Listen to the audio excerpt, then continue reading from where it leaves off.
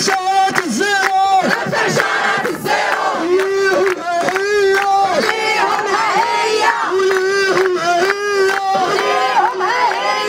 النقابه الوطنية الصحية تتنخرط في هذه الخطوة النضالية آه، الغير مسبوقة من أجل أن تندد بالوضع اللي تعيشه القطاع آه، عدم استئناف الحوار الاجتماعي على مستوى القطاع منذ تولي الوزير الجديد المسؤولية.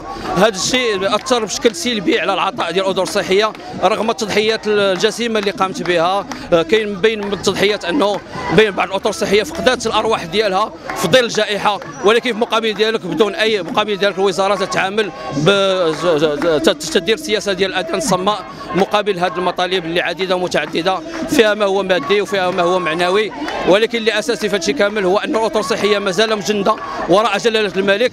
وتنتمنوا أنه وزير الصحة أنه يرجع لجادة الصواب ويستأنف الحوار مع النقابات من أجل آه، من أجل تحسين الوضعيه ديال القطاع بشكل عام.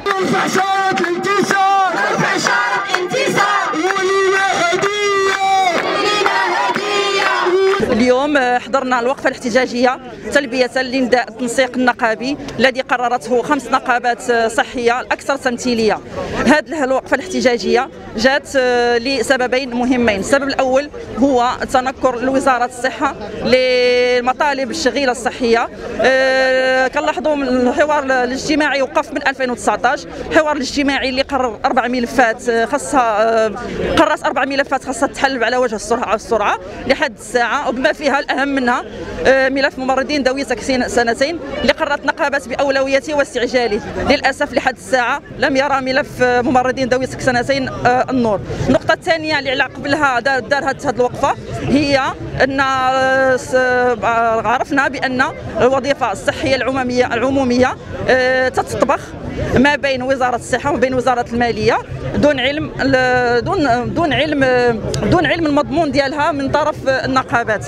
آه، لذلك هذه الوقفة هذه كوقفة احتجاجية كإنذار آه، باش وزارة الصحة آه، اولا تستأنف الحوار الاجتماعي وثانيا تدخل أو تشارك النقابات في في الوظيفة العمومية الجديدة باش نعرفوا ما لنا وما عليها.